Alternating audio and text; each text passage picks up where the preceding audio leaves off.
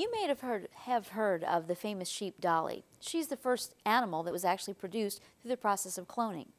Hi, I'm Janice Creneti, and I'm here to talk to you about what is embryo splitting.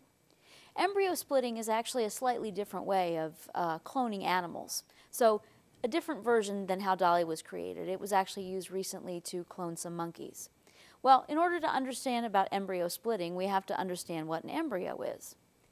Embryo is the beginning of life. It's where these cells have started to reproduce themselves in the process of forming a new organism. It could be a person, it could be a chicken, it could be a pea plant.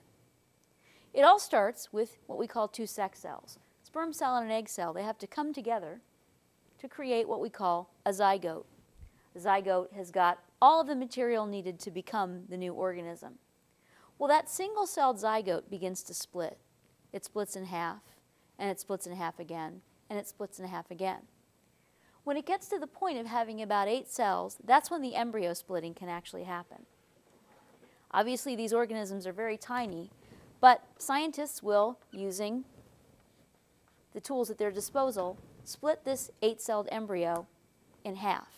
Now, what's important about this is that every single cell is genetically identical. So you end up with basically identical twins.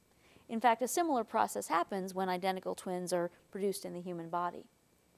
So now you've got two embryos that are genetically identical. Scientists are using this to help create monkeys that are genetically identical, which helps them in their disease research. I'm Janice Creneti, and this is What is Embryo Splitting?